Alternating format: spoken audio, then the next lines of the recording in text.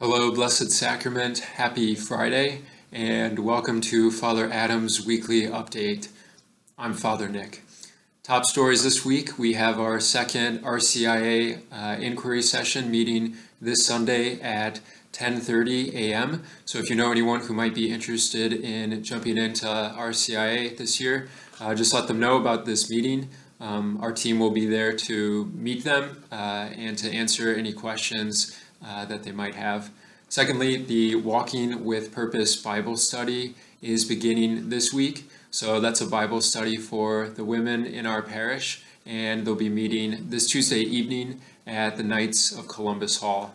And they'll be meeting there while our parish hall is under renovation.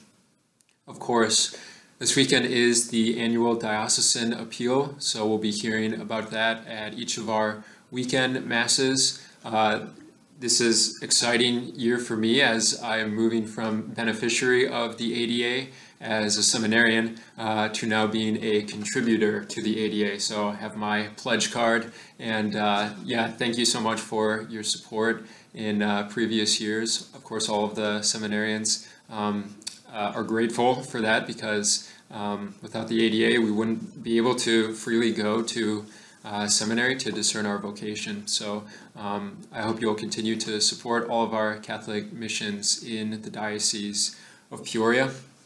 And lastly, just continue to pray that we can find uh, good fits for our fifth grade teacher as well as a band director for the kids at our school. Although, shout out to Mrs. Fro, who has been doing uh, a wonderful job jumping in and being there for our fifth grade kids this year. Uh, that's all I have. I hope you have a great weekend, and I'm looking forward to seeing you all at Blessed Sacrament. God bless you.